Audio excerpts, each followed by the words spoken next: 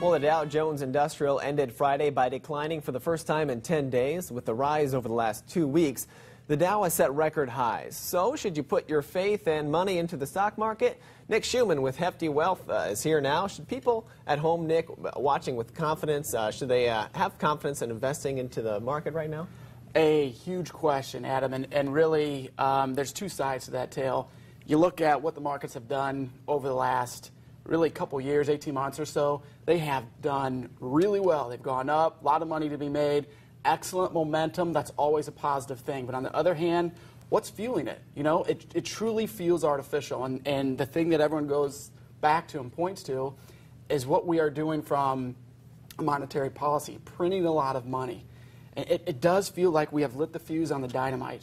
And, and eventually that fuse burns down and then uh, boom goes the dynamite. So that it's not a question of if, it's a question of when. And no one knows that answer yet. So to answer your question, should you have confidence? That Yes and no. yes and no there. So I guess that gets to these highs really mean so much. They do. They really do. You can't you can't ignore it, and it all depends on what you have been doing up until this point. So each person's path is what I always talk about. Know where you are is different. If you've been into this and you've been running with it, you've been making some money, that's different than if you've been sitting on the sidelines and just been nervous about it, not knowing when to, to jump in. You got to make sure you have the right path in place for you getting into that. And getting back to really the two sides of this. And uh, when you look at the bull case, though, there are some good things. And, and the thing that I point out to people right now is yes, we pushed past 14,000 points on the Dow. But from inflation standpoint, it's actually, we need to get to 15.7 to be back to the same numbers that we were in 2000. That's bull case. It does give you some room for growth in with that. Gotcha. So we're still nowhere close to a to an all-time high. Is that right? Um, when factoring in inflation, we aren't. There, that's that's one interesting way to be able to look at it. The other the other thing that I also, also like to point out is PE ratios. A price to earning ratio right now is extremely cheap.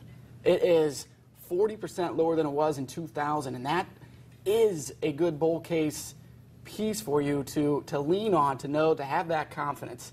Uh, it just depends on how much weight you want to put into that side of it, the technical side, the fundamental side with monetary policy. And Nick, what do these type of gains mean uh, uh, for consumer confidence? Are people confident right now in the market? Uh, I would say actually these gains means everyone is going to be more confused than before because of the artificial side, but yet the markets keep going up, and we have said we're going to continue to print money all the way into 2015, $85 billion per month. So everyone should be confused, and that's where people like myself, Hefty Wealth Partners, comes in, so we can help you know where your place is, what your plan says, and start to have a defined uh, strategy to enter if you're in, or maybe to get out or to ease out if you've been in and running up with this. Just depends on which side you're on. All right, Nick. Well, hey, thanks for joining yeah, us on First pleasure. News Saturday, and uh, we'll have more coming up after the break.